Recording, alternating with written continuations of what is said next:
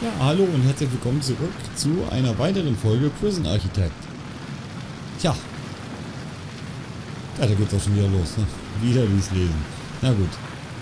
In einer unserer Einrichtungen braut sich eine Krise zusammen. Jemand hat in der Gefängnisküche Feuer gelegt. Wir müssen es löschen, um die Zahl der Opfer zu begrenzen und weiteren Schaden zu verhindern. Rufen Sie uns über die Schaltfläche Notdienst in der Werkzeugliste die Feuerwehr. Bringen Sie diese, dieses Feuer unter Kontrolle, bevor das gesamte Gefängnis abbrennt. Jawohl.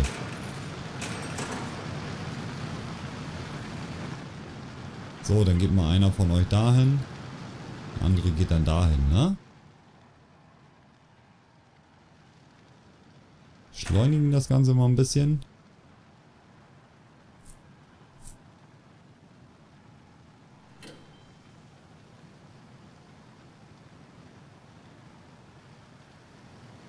Jawohl. Feuerwehren löschen Feuer. Ja.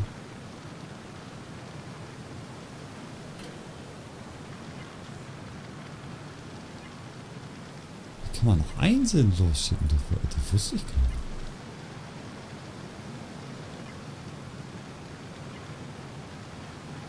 Boah, hätte ich das gewusst so. Hätte ich die ja gleich von Anfang an alleine losgeschickt.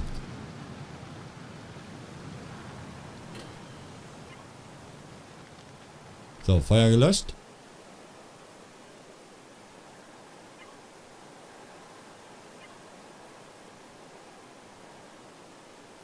Alles aus?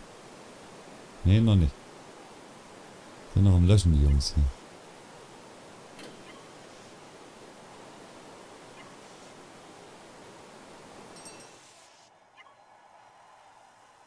Ah, Feuer ist gelöscht. Mein Gott. Da ist ein Überlebender zwischen den Trümmern. Äh. Sieht nicht gut aus. Grundgütiger, das ist Don Palermo. Von allen Insassen muss es ausgerechnet unser Mafia-Boss sein. Palemero, glaube ich. Die schlechte Nachricht für ihn ist, dass wir aufgrund der Budget, Budgetsenkung all unsere festen Ärzte entlassen mussten. Die gute Nachricht ist, dass unsere Krankenstation immer noch einsatzbereit ist. Stellen Sie ein paar Ärzte ein, damit sie sich um Don Paler Palermo ja, Palermo äh, kümmert, soll das denke ich mal heißen. Während wir dieses Chaos beseitigen. Ja, wir brauchen Ärzte. Ärzte, wir müssen dieses Chaos beseitigen. Ach, so weit waren wir doch schon. Reißen Sie mit dem Baggerwerkzeug die zerstör zerstörte Kantine und die Küche ab. Es müssen sämtliche Trümmer entfernt werden. Ja. Weisen Sie eine Müllzone an der Straße zu. Unsere Arbeiter werden die Trümmerteile dorthin bringen, damit die Müllabfuhr die wegschaffen kann. Jetzt haben wir zu früh gedrückt, aber na gut. Endlich können Sie die Feuerwehrleute wieder nach Hause schicken. Ihre Arbeit ist getan.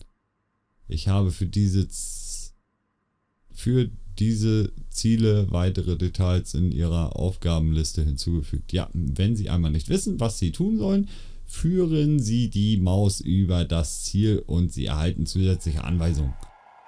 Tja, dann machen wir das mal, wa? Die schicken wir erstmal nach Hause, die beiden hier. So, dann machen wir die Müllzone. Zack, hier. So. Müllzone fertig. So, und dann wegbaggern. Hier das. Und das auch.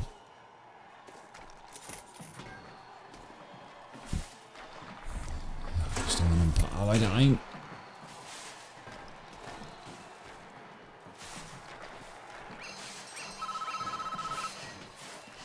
Erstmal vier Ärzte.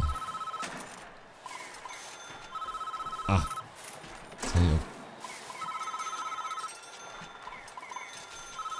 Ah, so. Ja, das, ja, das reicht jetzt. Ja, gut. Der Abriss des Gebäudes wird eine Weile dauern. Sie können in der Zeit Sie können die Zeit beschleunigen, indem Sie Sch Schaltfläche unter der Uhr betätigen. Ja, weiß ich.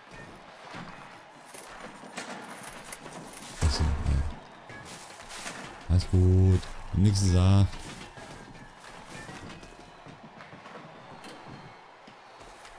So, bald mal fertig hier? Ja. Die Küche ist schon mal weg.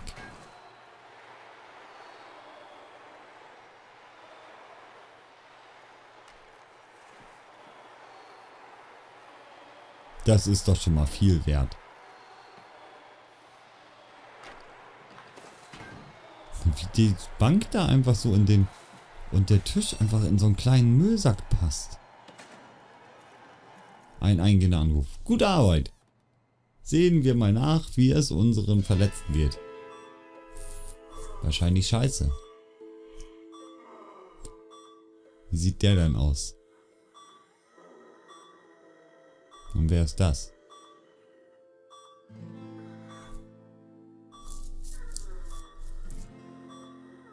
Don Corleone oder wer ist das?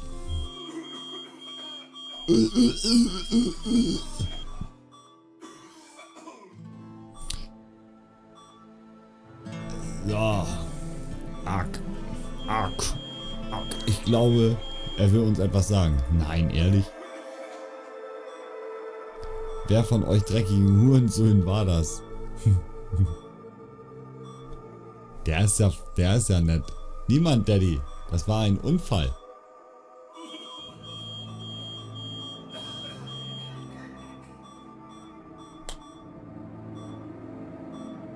Hätte euch dreckige... Äh, haltet eure dreckigen Mäuler und hört gut zu. Hört gut zu, beide. So, wenn ich wüsste... Wenn ich wüsste, welches von euch beiden Arschlöchern den Brand gelegt, äh, gelegt hat, würde ich ihm das, den Hals umdrehen. Aber meine Zeit ist abgelaufen. Ich werde in diesem Scheißbett sterben. So, aber es gibt noch Familiengeschäfte zu führen. Der Name Palermo ist alles, was, was wir noch haben. Ihr übernehmt also die ehrenhafte Aufgabe, ihr dreckigen Wichser. Capisce?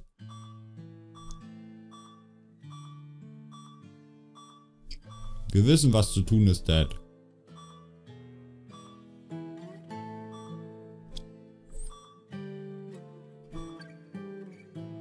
Na dann geht mal. Ach so. Pass auf dich auf. Es ist noch nicht vorbei, Nico. Ne? Ohne Essen werden die Häftlinge in ein paar Tagen die Mauer niedergerissen haben. Wir müssen das Gefängnis sichern, bevor es zu einem Aufstand kommt. Das ist der Einsatzbildschirm. Von hier aus können Sie den taktischen Einsatz an Ihrer an den taktischen Einsatz all Ihrer Wachen steuern.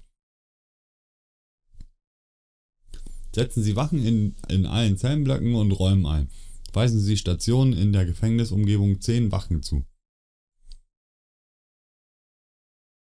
Das sollte reichen, um Stärke zu zeigen.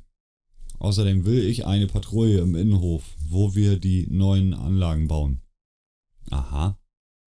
Wenn Sie einmal nicht wissen, was Sie tun sollen, ja, führen Sie Maus wieder über den Dings und dann werden Ihnen da, da, da, da. Ja, genau.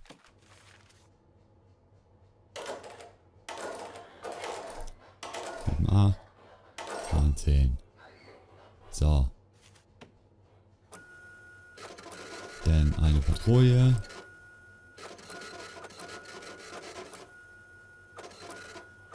So. Haben wir zwei sogar. Wir haben noch viel Arbeit vor uns. Wir müssen unsere Aufmerksamkeit dem Wiederaufbau von Küche und Kantine zuwenden. Zuerst müssen wir die Küche wieder aufbauen. Dazu müssen Sie diverse Geräte installieren und ein paar Köche einstellen. Ist das getan, bauen Sie eine neue Kantine. Jawohl. Machen wir. Fangen wir gleich damit an oder später? Ne, gleich, ne?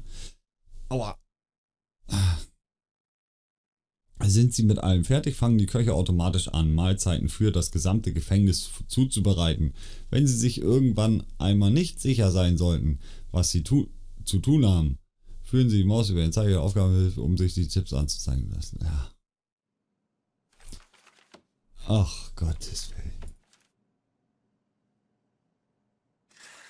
Ich muss alle wieder aufbauen, die das angezündet haben. Zugang benötigt. Ja, kriegst du doch.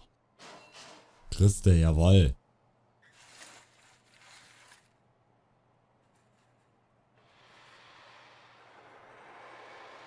So. So.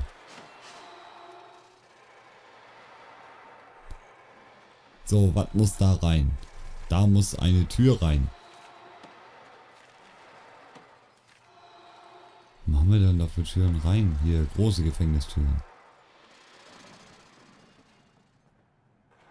Aber...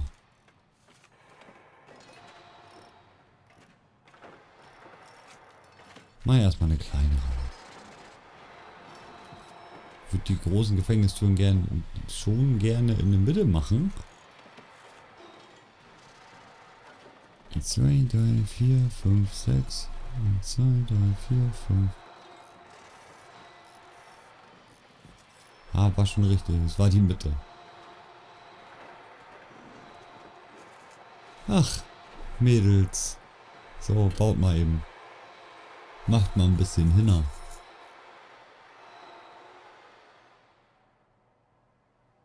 So. Diesen Raum ist fertig. Da müssen wir nochmal eben, zack, eine Wand durchziehen. Den geben wir in den Elektronik-Kram. So, dahin. Abreißen, abreißen. Dann darüber. Da kommt der Hahn hin. Oh nein, jetzt sind die Toiletten ohne. Oh mein Gott. Macht nix. Gibt viel schlimmere.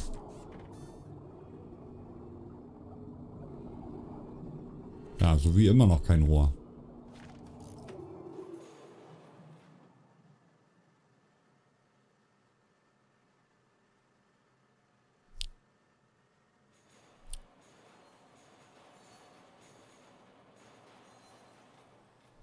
Gut sieht aus.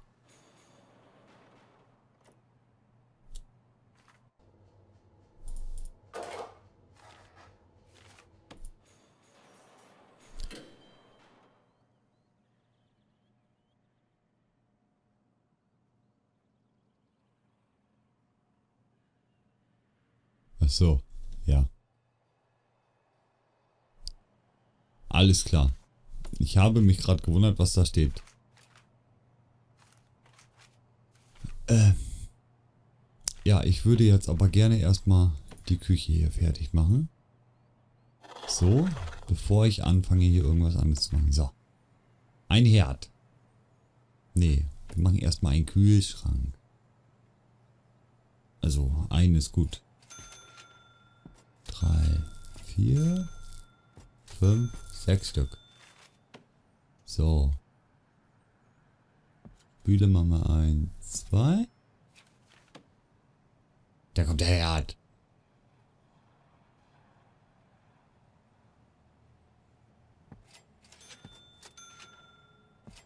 Drei, vier.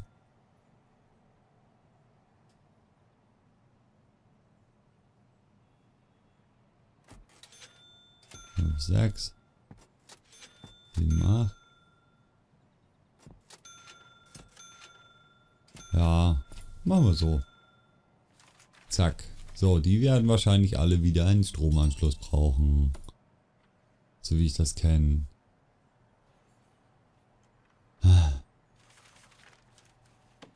Naja, wir können ja schon mal noch ein paar Fenster einbauen hier. So. So.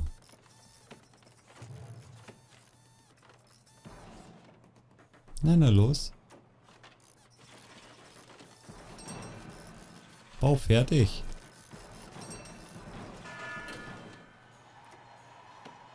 Oh, wir haben den Müll. Je. oh ganz schlimm.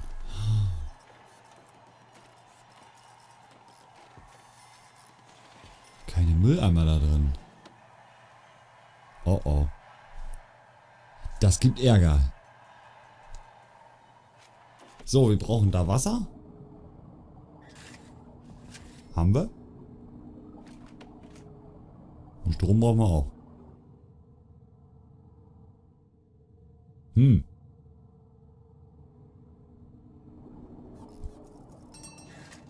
Wir da einmal Strom her?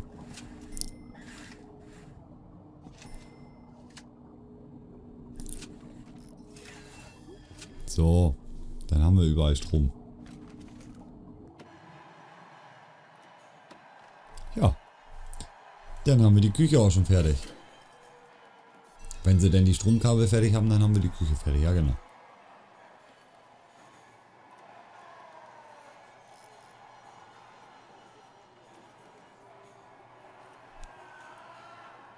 Ja, jawohl. So, Mindestens acht Köche. Meine mit. Ich mach zehn.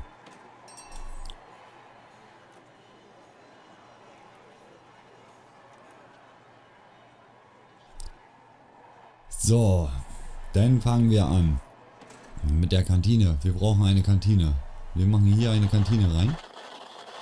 Bin mal gespannt, wie weit wir das soweit, ja, wie weit ich das fertig kriege. Serviertisch.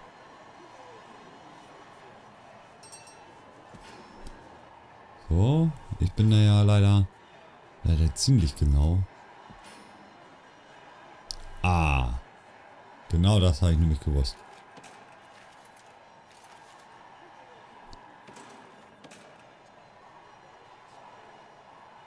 Fehlt einer.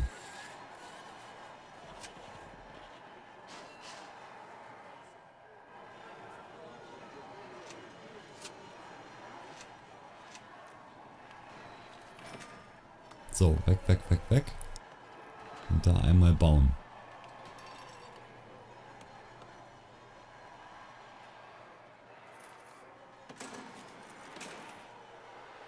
Wie hoch war das Ding jetzt? 24.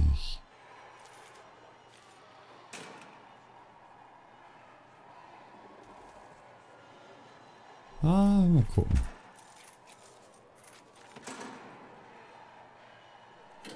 So, Kantine.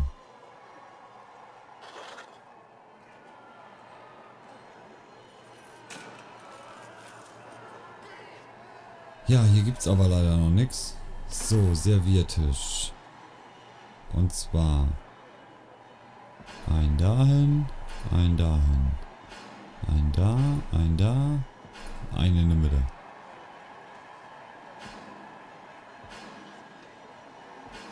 so, so, so.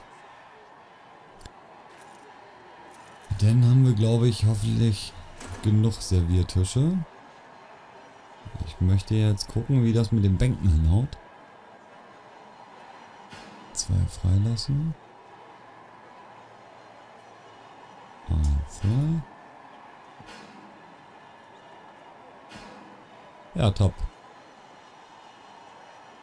Zwar nicht ganz so, wie ich es haben wollte, aber egal, das geht auch. So,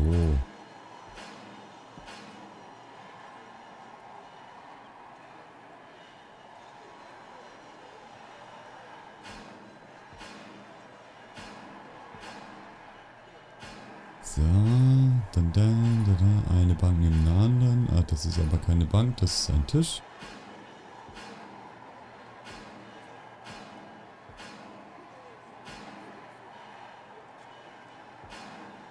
Mist.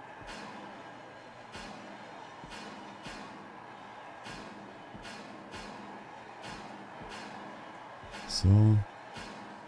Ah, hätten wir mal gleich vorher gucken sollen. Einmal rüber und einmal runter. Ob das passt. Naja. Wobei, so sieht das auch gar nicht verkehrt aus. Ne? Aber es passt nicht. Es geht nicht auf. So. So, lassen wir das. Das sieht gut aus. Da bin ich mit zufrieden und ihr 100 Pro auch. Ihr müsst damit zufrieden sein. Na. Was war das denn eben hier? Hä? Kleiner Schwächeanfall oder was?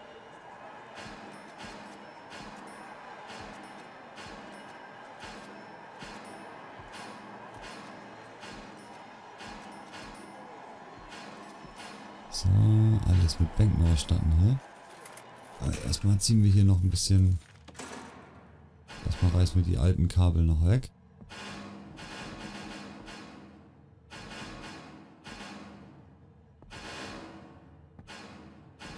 So, den Kram auch noch. Das kommt weg. Denn... Genau, wir nehmen von da Strom, gehen dann damit rüber.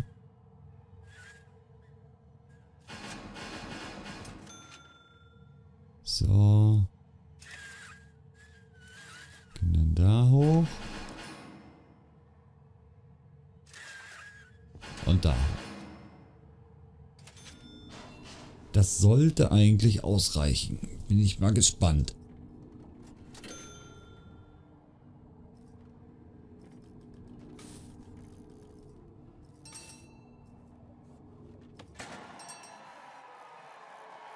Oh, die essen im Dunkeln?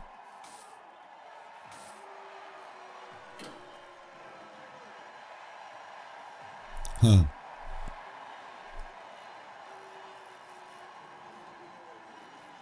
Fehlgeschlagen, Bank. Aha.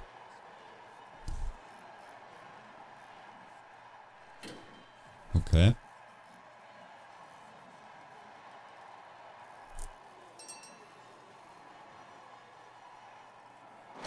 Tada! Oh.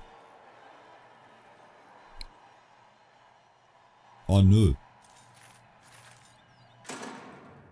Jetzt schon Strom weg.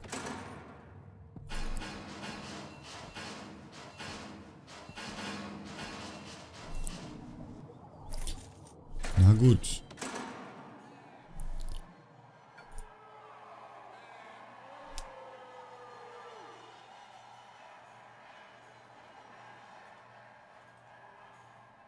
Tja. Da reicht unser Strom nicht. Jetzt haben wir kein Wasser und keinen Strom. Super. Bim, bim, bim, bim, bim. So, einschalten. Zack, haben wir wieder Strom. Geht doch. Ah, jetzt gibt's auch was zu essen.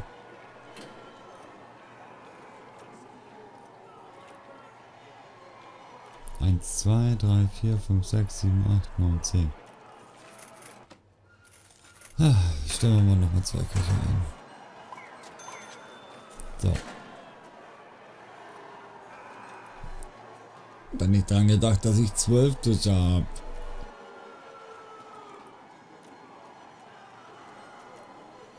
Äh. Zwölf Herde.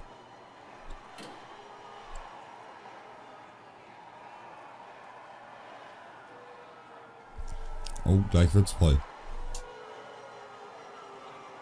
Wieso habe ich eigentlich 90 Häftlinge? Ja.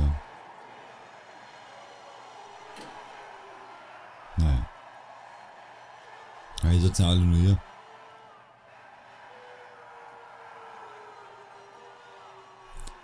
Naja. Oh. Hm. Hier machen wir auch Paket rein.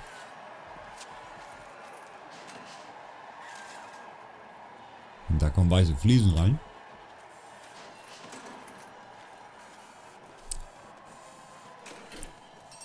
Ich wollte ja noch eine Tür bauen.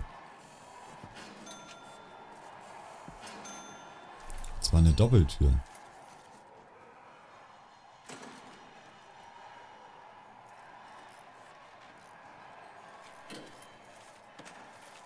Jawohl.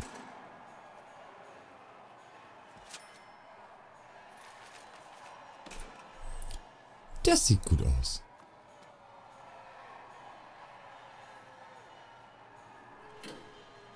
Da bin ich mit zufrieden.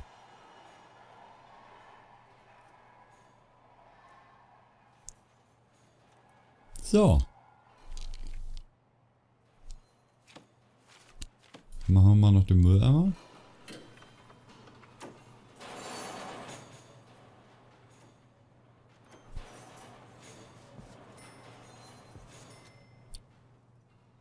Die Mülleimer.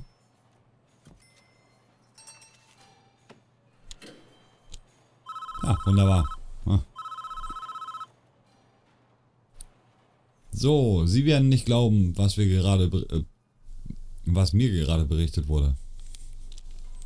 Ah, was kommt jetzt? Guck, was ist das? Kokain, ja? Unsere Leute waren gerade dabei, die verdorbenen Lebensmittel zu entsorgen, als sie in den Kisten Drogen und Flaschen mit Alkohol entdeckten.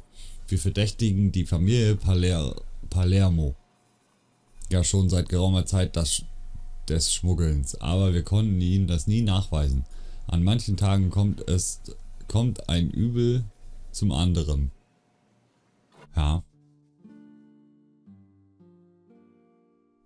Don Victor Palmero, Boss einer gefürchteten, der, einer der gefürchtetsten Mafia-Familien der Ostküste. Die Palermos haben das FBI jahrzehntelang an der Nase herumgeführt. Und Anthony Palmero, der älteste Sohn von Don und dessen natürlicher Nachfolger, war für das Tagesgeschäft verantwortlich. Nico Tamuretti war zwar ursprünglich kein Familienmitglied, wurde aber aufgenommen, als er Dons einzige Tochter Vitalia heiratete. Und dann ist noch sein Sohn, äh, dann ist noch Sonny, Sonny? Sonny? Naja gut. Der zweite Sohn von Don, ein echter Fiesling. Ein Temperament wie ein Pitbull und nur halb so viel Grips. Ihr Imperium umfasste den Drogenhandel von Maine bis Florida. Zumindest bis Anthony in Flagranti erwischt wurde. Ah, guck an. Er wurde von einem eifersüchtigen Ehemann erschossen. Hm, weiß ich, den habe ich gegrillt. Zum Pech für die Familie fand die Polizei am Tatort in Anthonys Sporttasche 12 Kilo reinstes Kokain. Und die Beweise führten bis hoch zum Familienoberhaupt. Tja. Hast genommen. Über Nacht fiel alles, was sich die Familie Pal Palmero, Palermo aufgebaut hatte, in sich zusammen. Das FBI hatte alles, was es brauchte, um sie im Gefängnis verrotten zu lassen. Na, sperren wir ihn mal ein. Fehlt noch, fehlt noch Vitalia, die Tochter von Don. Und einziges lebendes Familienmitglied, das nicht hinter Gittern ist. Wir wissen nur wenig über sie, abgesehen davon, dass sie immer aus dem Familiengeschäft rausgehalten wurde. Aber irgendjemand muss die Drogen von außerhalb reingeschmuggelt haben.